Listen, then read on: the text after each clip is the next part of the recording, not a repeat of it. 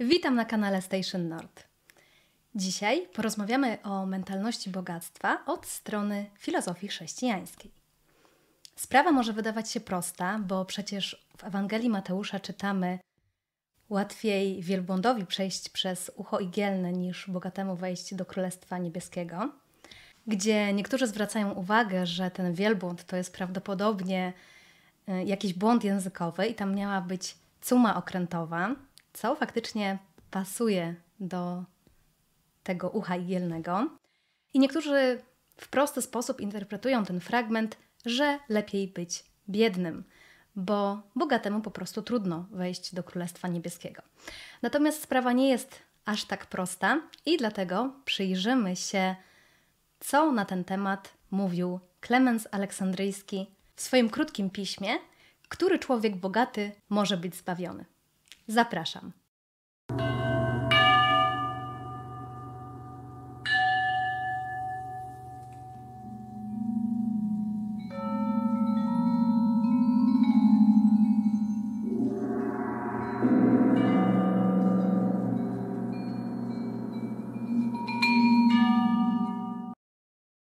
Klemens Aleksandryjski był wczesnochrześcijańskim teologiem, zaliczanym do ojców Kościoła i żył na przełomie II i III wieku. Odwołamy się do jego dzieła przetłumaczonego na język polski, które zostało opublikowane w wydawnictwie M w 1995 roku. Klemens Aleksandryjski w swoim tekście dotyczącym właśnie zależności między bogactwem a możliwością zbawienia, odwołuje się do przypowieści o człowieku bogatym, która występuje w trzech Ewangeliach synoptycznych. Przeczytamy ją sobie w wersji Mateusza, ponieważ tam jest jeden fragment nieco inaczej ujęty niż ma to miejsce u Marka i Łukasza. Pewien człowiek podszedł do Jezusa i zapytał: Nauczycielu, co dobrego mam czynić, aby otrzymać życie wieczne? Odpowiedział mu: Dlaczego mnie pytasz o dobro? Jeden tylko jest dobry. A jeśli chcesz osiągnąć życie, zachowuj przykazania. Zapytał go: Które? Jezus odpowiedział: Oto te: nie zabijaj, nie cudzołóż, nie kradnij, nie zeznawaj fałszywie, czci ojca i matkę oraz miłuj swego bliźniego jak siebie samego. Odrzekł mu młodzieniec: Przestrzegałem tego wszystkiego. Czego mi jeszcze brakuje?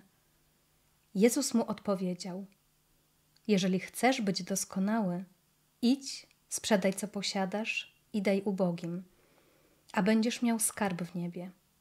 Potem przyjdź i chodź za mną. Gdy młodzieniec usłyszał te słowa, odszedł zasmucony, miał bowiem wiele posiadłości. To jest kolejny fragment, który wskazuje na to, że co prawda można być człowiekiem w dużej mierze przestrzegającym różnych zasad, właśnie tak jak ten młodzieniec przestrzegał zasad nie zabijaj, nie cudzołóż, nie kradnij i tak dalej. Ale w odpowiedzi Jezusa słyszymy, jeżeli chcesz być doskonały, czyli jeżeli pewien poziom dyscypliny etycznej ci nie wystarcza, ale chcesz jeszcze bardziej doskonalić swoją duszę, musisz zacząć odwiązywać się, wyrzekać się przywiązania do posiadania. I co na ten temat mówi właśnie Klemens Aleksandryjski? Sprzedaj co masz. Co to znaczy? Nie żąda tu Zbawiciel, jak niektórzy zbyt pochopnie sądzą, aby porzucić posiadane mienie i wyrzec się majątności, ale poleca wyrwać z duszy powszechnie przyjęty sąd o bogactwach, przywiązanie do nich, nadmierną chciwość, niepokój o nie i namiętność, troski, ciernie życia, które zagłuszają nasienie wieczności. Ubóstwo zresztą nie jest rzeczą wspaniałą ani godną zazdrości, chyba że ktoś znosi je dobrowolnie dla życia wiecznego.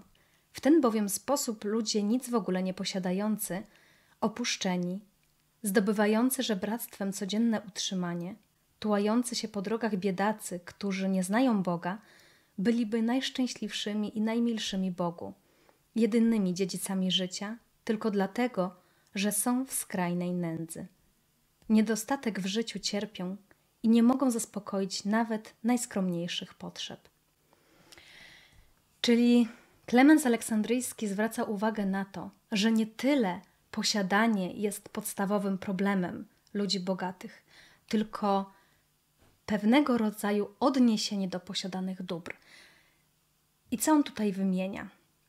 Sąd o bogactwach, czyli pewnego rodzaju przekonanie dotyczące, dotyczące posiadania, dotyczące y, rzeczy materialnych, dotyczące na przykład mieszkania, samochodu, ale nie tylko materialnych, na przykład też poglądów na życie, na to, jak ma być, poglądów etycznych.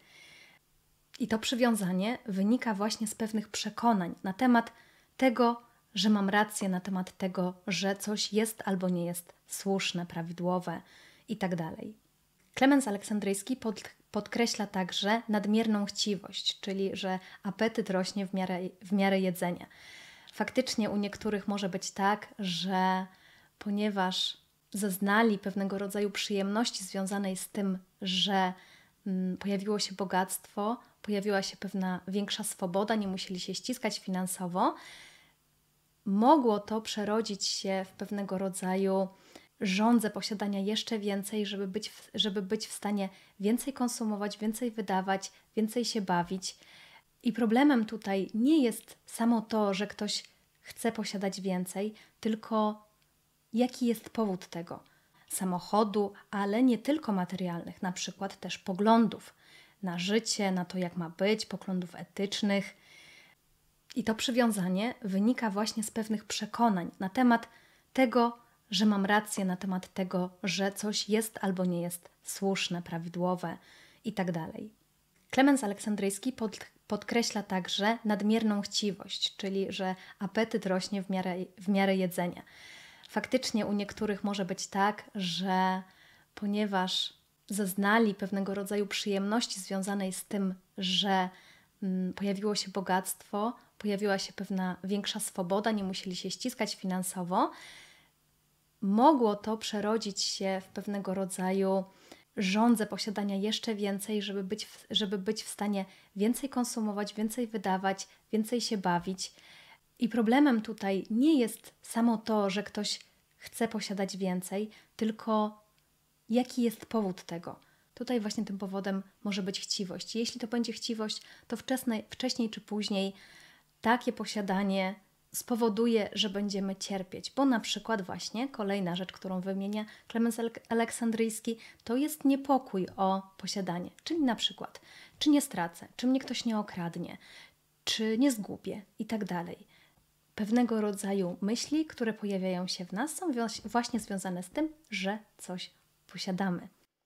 Ponadto Klemens Aleksandryjski zwraca uwagę na to, że brak posiadania, bycie człowiekiem biednym, wcale nie jest kwestią pożądaną, wcale nie jest tym, do czego człowiek powinien zdążać.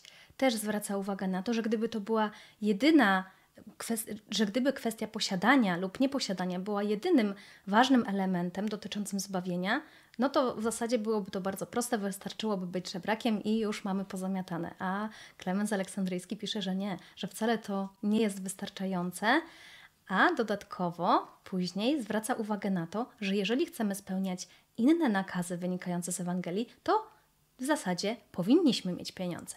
I co Klemens Aleksandryjski pisze?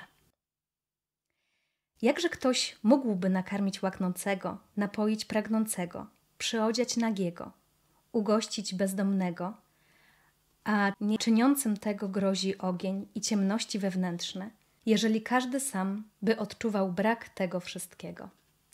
Czyli jednak sama kwestia posiadania lub nieposiadania nie jest aż tak bardzo istotowa, jak się na początku mogło wydawać. Co więc jest? Chrystus nakazuje nasze wewnętrzne nastawienie i samą dumę uwolnić od żyjących w niej namiętności, a wszystko, co w myśli jest obce Bogu, z korzeniem wyrwać i wyrzucić. Taka jest zasada życia człowieka wierzącego. Taka jest nauka zgodna Zbawiciela. Dawniej bowiem ludzie, wzgardziwszy rzeczami zewnętrznymi, porzucali swe posiadłości i tracili je. Natomiast namiętności w ich duszach jeszcze bardziej, jak sądzę, się rozpalały, gdyż ogarniała ich pycha, chełpliwość i żądza próżnej sławy. Innymi słowy, gardzili, uważając, że sami czynu nadludzkiego dokonali. Jakżeby więc Zbawiciel mógł zalecać tym, którzy mają żyć wiecznie, postępowanie szkodliwe i zgubne dla tego życia, jakie głosi? Trzeba także zaznaczyć, że człowiek, chociaż się pozbył ciężaru mienia, może mieć jednak wrośniętą w duszę żądzę i pragnienie bogactwa, nie mniej żywe. Wyrzekł się wprawdzie jego używania, jednakże żyjąc w niedostatku i tęskniąc za dobrem zmarnowanym, boleje podwójnie, bo odczuwa brak potrzebnych posług, a zarazem żal mu ich utraty. I inny fragment.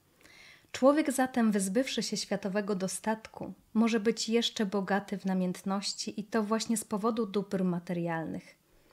Usposobienie bowiem wewnętrzne robi swoje, dławi i zagłusza rozum i rozpala go żywionymi w duszy namiętnościami. Tak więc nie skorzystał, bo choć żyje w nędzy, zasobny jest jednak w namiętności. Nie odrzuci tego, co należało odrzucić, ale rzeczy obojętne. Tak więc Klemens Aleksandryjski zwraca uwagę na to, że wyrzekanie się dóbr ma tak naprawdę prowadzić do tego, żeby zmienić swój charakter, żeby zmienić się wewnętrznie, żeby obniżać poziom żądzy, która właśnie wiąże się z tym, że się przywiązujemy do różnego rodzaju właśnie rzeczy, przedmiotów, poglądów. I jeszcze kolejny fragment. Wszystko, co człowiek posiada, zostało mu udzielone i poddane niby jakaś materia i narzędzie, którym powinien się posługiwać umiejętnie i w sposób właściwy. Narzędzie, jeśli się nim posługujesz według zasady sztuki, tworzy arcydzieła. Jeśli brak ci umiejętności, jemu także udziela się Twoja niezręczność, chociaż nie jest jej winne. I bogactwo jest takim narzędziem. Umiesz go używać sprawiedliwie? Służy sprawiedliwości. Używa go ktoś niesprawiedliwie? Staje się ono sługą niesprawiedliwości. Z natury bowiem swojej ma ono służyć, ale nie rządzić. Nie należy zatem winić tego, co samo w sobie, będąc bez winy, nie jest ani złe, ani dobre. Winę trzeba przypisywać tylko temu, kto może posłużyć się narzędziem. Źle lub dobrze, zgodnie ze swoją wolą. A zdolność tę posiada jedynie rozum ludzki, który może swobodnie osądzać i ma pełną władzę posługiwania się rzeczami użyczonymi człowiekowi. Tak więc nie mienie niszczyć należy, ale raczej namiętności duszy, które pozwalają, byśmy w sposób właściwy posługiwali się tym, co posiadamy. A w ten sposób, stawszy się człowiekiem szlachetnym, będziesz umiał posługiwać się właściwie swoim mieniem. Zatem słowa Chrystusa nakazujące porzucić wszystko, co się posiada i sprzedać całą swoją majętność, należy rozumieć właśnie w ten sposób, gdyż dotyczyły one wewnętrznego usposobienia duszy. Zatem, jak widzimy, już we wczesnych wiekach chrześcijaństwo zwracało uwagę na to, że nie chodzi o posiadanie czy nieposiadanie, tylko istotową kwestią jest praca z rządzą. Także zgodnie z tym, co opisał Klemens Aleksandryjski, bogaty może być zbawiony, ale nie może on być bogaty w namiętności, między innymi bogaty w żądze, w chciwość. Natomiast jeżeli interesuje Cię temat rozwijania mentalności bogactwa, to zachęcamy do zapoznania się z książką Navisa Norda Prosperity Training oraz z kursem Świadomość Zwycięstwa na platformie www.prosperitytraining.pl. Do zobaczenia.